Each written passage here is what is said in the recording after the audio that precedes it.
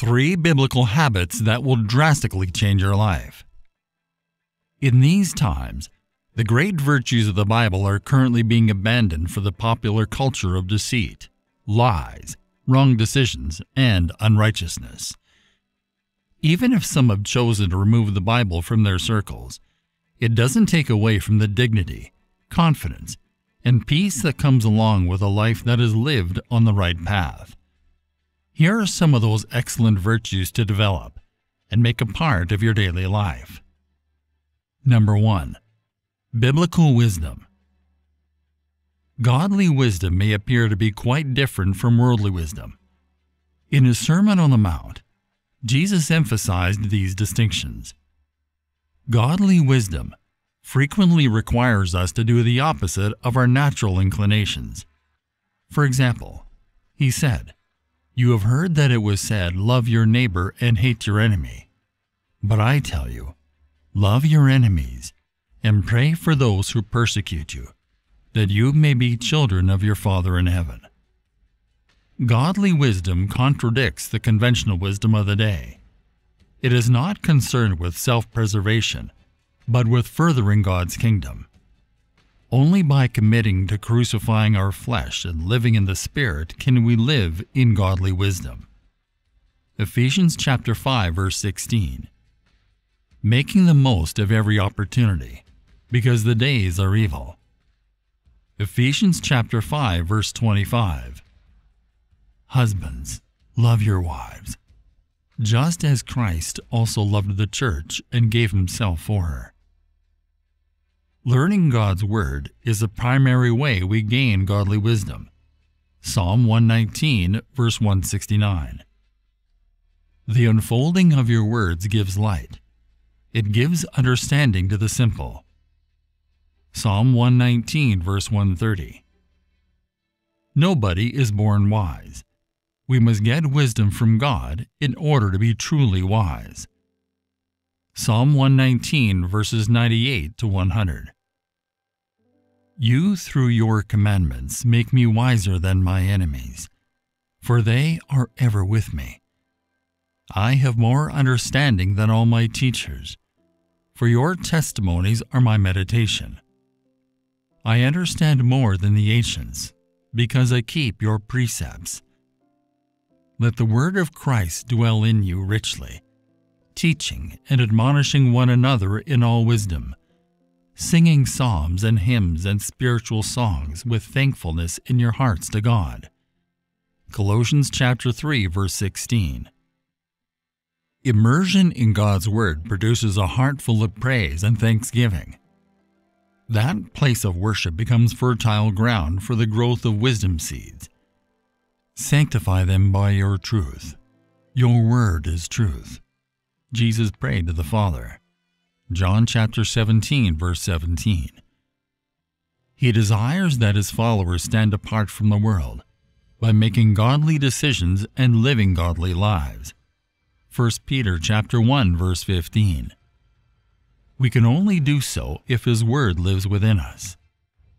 We can also develop godly wisdom by carefully picking those who travel through life with us. Whoever walks with the wise becomes wise, but the companion of fools will suffer harm. Proverbs chapter 13 verse 20. Paul advised the Corinthians to imitate me as I imitate Christ. 1 Corinthians chapter 4 verse 16 and chapter 11 verse 1.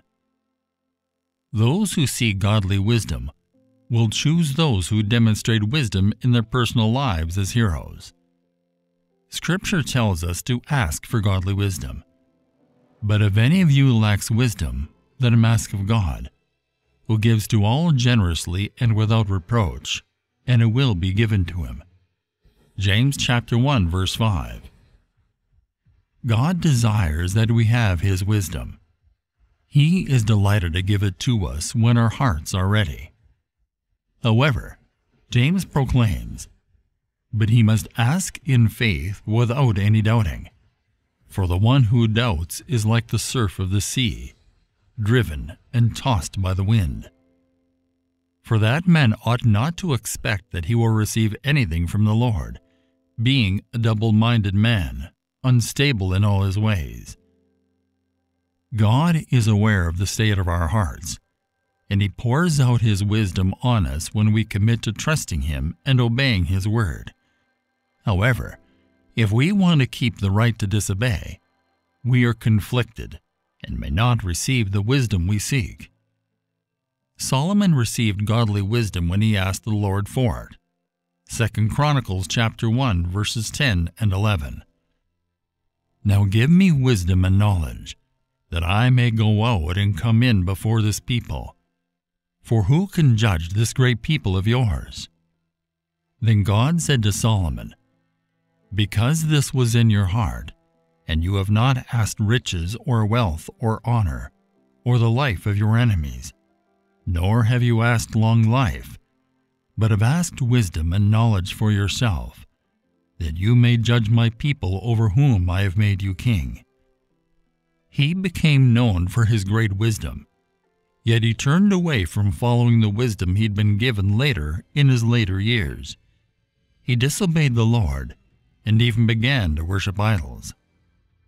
1 Kings chapter 11 verses 1 to 11.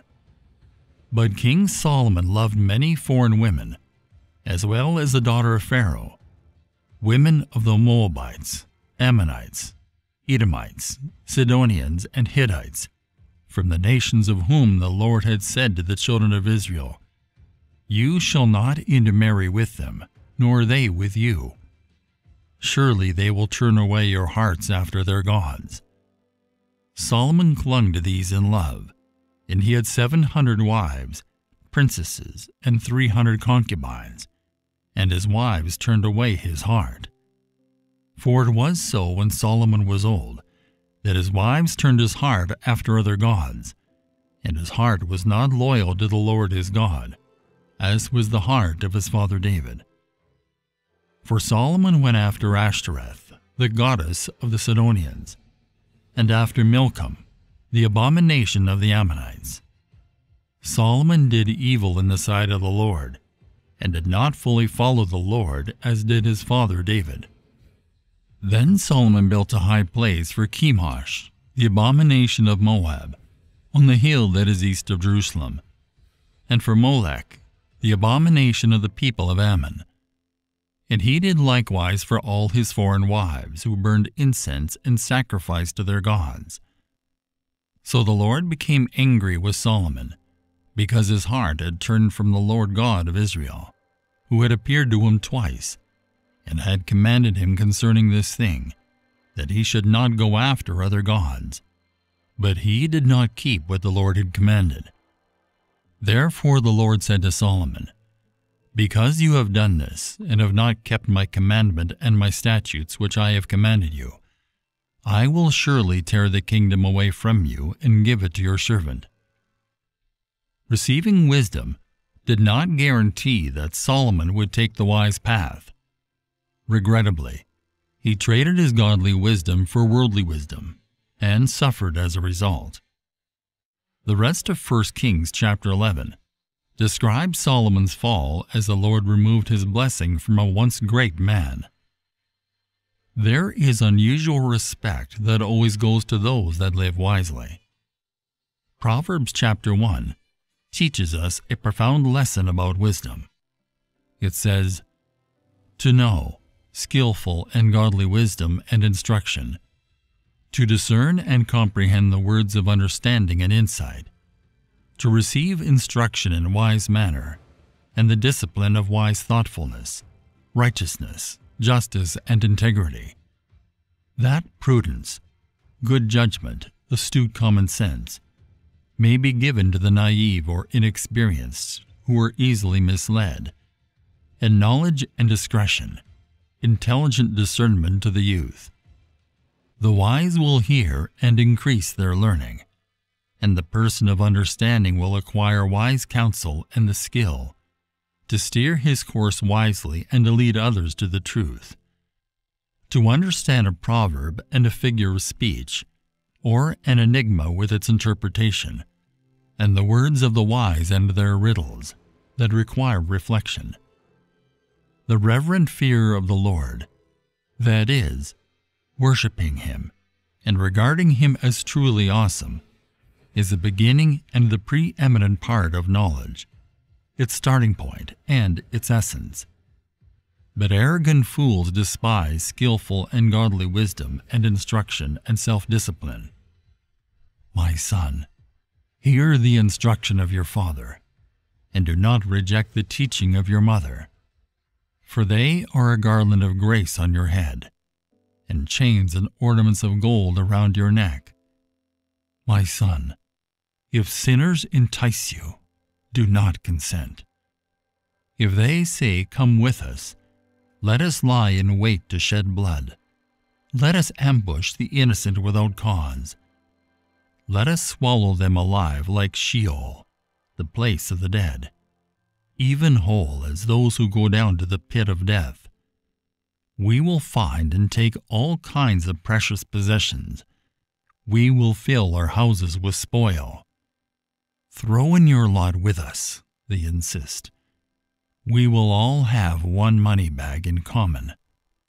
My son, do not walk on the road with them. Keep your foot far away from their path, for their feet run to evil, and they hurry to shed blood. The ways of God are the ways of wisdom, and apart from bringing respect, it also brings a peace that no man can bestow on another. Number 2 Maintaining a life of integrity. A man or woman of integrity that hates deceit, hypocrisy, and lies will always earn the respect of the people around. Job chapter 1 verse 1 includes the statement that Job was blameless and upright. This cannot mean that Job was sinless. Romans chapter 3 verse 23. So what does it mean? Romans chapter 3 verse 23 for all have sinned and fall short of the glory of God. The Hebrew word for blameless is tam, which can also be translated as perfect or upright. The same word appears in Proverbs chapter 29 verse 10 which says, The bloodthirsty hate a person of integrity and seek to kill the upright. A blameless person is someone whose life exhibits integrity. The word upright in Job chapter 1 is a translation of the Hebrew yashar, which means right or just. This word appears in this verse alongside blameless. The same word appears in parallel with those who seek peace in Psalm chapter 37 verse 37. Consider the blameless, observe the upright. A future awaits those who seek peace. The fuller context in Job chapter 1 verse 1 is this man was blameless and upright. He feared God and shunned evil. As a result, Job's description as blameless and upright is linked to the fear of God and the avoidance of evil. In short, Job was a man of integrity who trusted in God as his Redeemer, sincerely worshiped the Lord, loved his family, and was consistent in his walk with God. Following a description of Job's riches and children, the text mentions Job's sons' feasts. The following is an example of Job's blameless and upright nature. Early in the morning, he would sacrifice a burnt offering for each of them, thinking, Perhaps my children have sinned and cursed God in their hearts. This was Job's regular custom.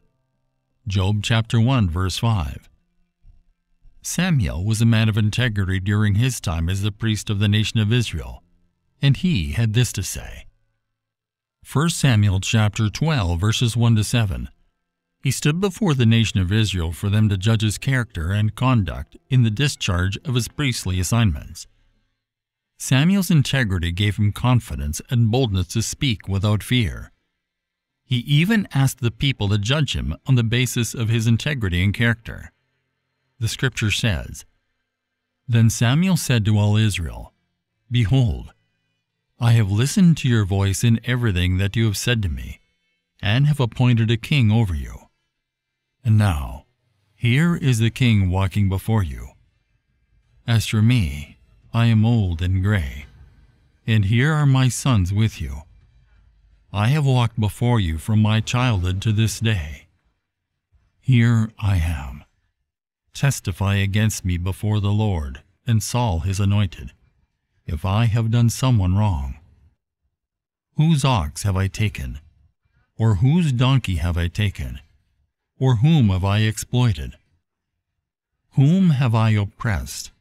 Or from whose hand have I taken a bribe to blind my eyes to the truth? Tell me, and I will restore it to you. They said, You have not exploited us, or oppressed us, or taken anything at all from a man's hand. Samuel said to them, The Lord is a witness against you, and Saul his anointed is a witness this day that you have not found anything in my hand. And they answered, He is a witness.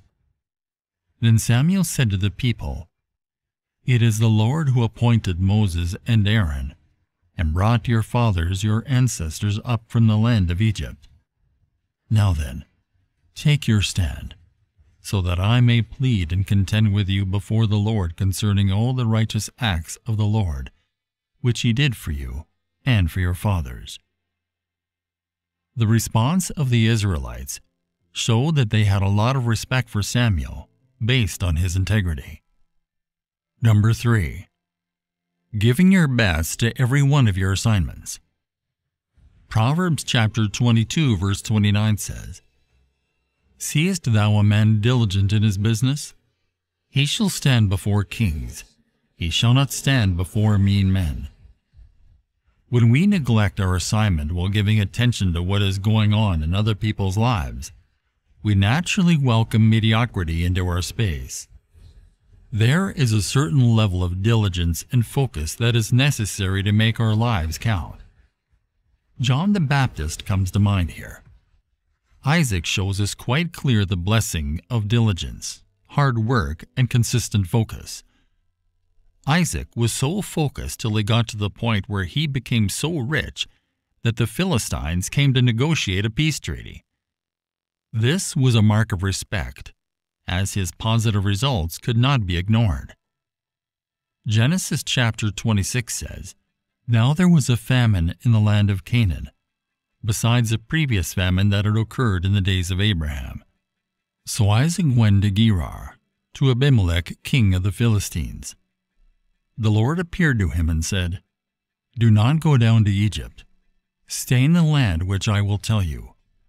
Live temporarily as a resident in this land, and I will be with you and will bless and favor you.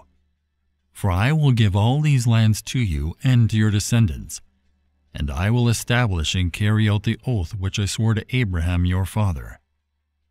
I will make your descendants multiply as the stars of the heavens, and will give to your descendants all these lands. And by your descendants shall all the nations of the earth be blessed. Because Abraham listened to and obeyed my voice, and consistently kept my charge, my commandments, my statutes, and my laws. So Isaac stayed in Gerar. Then Isaac planted seed in that land as a farmer, and reaped in the same year a hundred times as much as he had planted. And the Lord blessed and favored him. And the man Isaac became great and gained more and more, until he became very wealthy and extremely distinguished. He owned flocks and herds, and a great household with a number of servants. And the Philistines envied him. Now all the wells which his father's servants had dug in the days of Abraham his father, the Philistines stopped up by filling them with dirt. Then Abimelech said to Isaac, Go away from here, because you are far too powerful for us. So Isaac left that region, and camped in the valley of Gerar, and settled there. Now Isaac again dug, and reopened the wells of water which had been dug in the days of Abraham his father, because the Philistines had filled them up with dirt, after the death of Abraham. And he gave the wells the same names that his father had given them, but when Isaac's servants dug in the valley and found there was a well of flowing spring water, the herdsmen of Gerar quarreled with Isaac's herdsmen, saying, The water is ours. So Isaac named the well Esek, quarreling, because they quarreled with him. Then his servants dug another well, and they quarreled over that also. So Isaac named it Sitnah, enmity. He moved away from there and dug another well, and they did not quarrel over that one. So we named it Rehoboth, broad places, saying, For now the Lord has made room for us, and we shall be prosperous in the land. Hard work and a life of diligence were what God used to lift Isaac from the envy of those who were persecuting him earlier on. Let us pray. Dear Lord, I am grateful for the wisdom and integrity that you have chosen to make me partake of. Thank you for your word in the Bible that strengthens me to give my best mentally, spiritually, and physically to every work I have to do. In the name of Jesus, I choose the biblical way to peace, confidence, and dignity. So help me God. Amen.